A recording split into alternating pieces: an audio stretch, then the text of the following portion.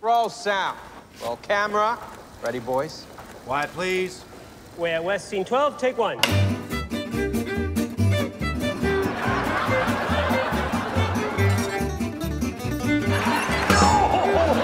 How you feel about the size of the audiences? I've been a little disappointed. And they said, could you persuade Stan and Ollie to do some publicity in order to turn the tour around? Will there be any more money?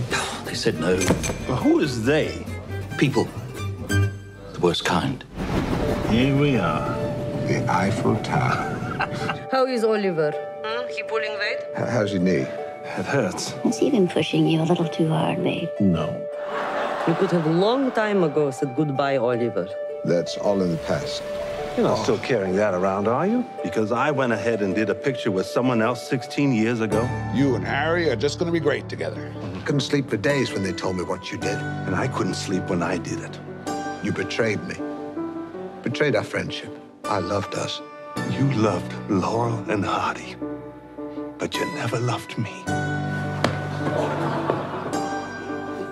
The doctors told me I can't continue with the tour. My heart won't take it. He asked me since you were sick if I wouldn't mind carrying on the show with somebody else. May I introduce to you Mr. Nobby Cook? You're not leaving, are you, Stan?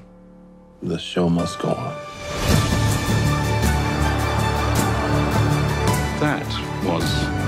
Pure magic. It's brilliant.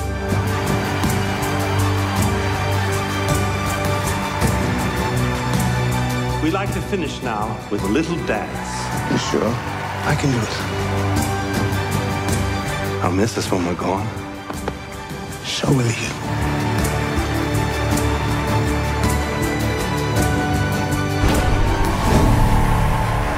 What time is it now?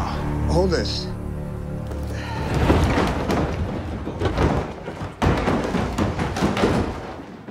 Do we really need that trunk?